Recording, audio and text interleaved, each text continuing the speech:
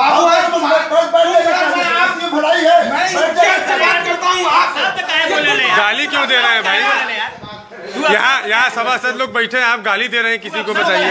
अभी अभी अभी गाली दिए मोबाइल में रिकॉर्ड हुआ है। अभी गाली आपका रिकॉर्ड हुआ है। क्यों गाली दे रहे हैं आप किसी को? धीरे धीरे बोलिए। क्यों गर्म हो रहे हैं? क्यों गर्म हो रहे हैं।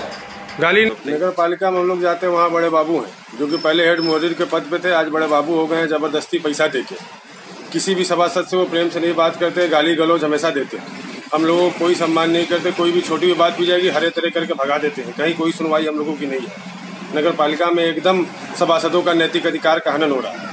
हमने चेक पास रजिस्टर मंगा, उसके लिए भगा दिया गया, कह के नहीं दिखाएँगे, क्या करेंगे आप?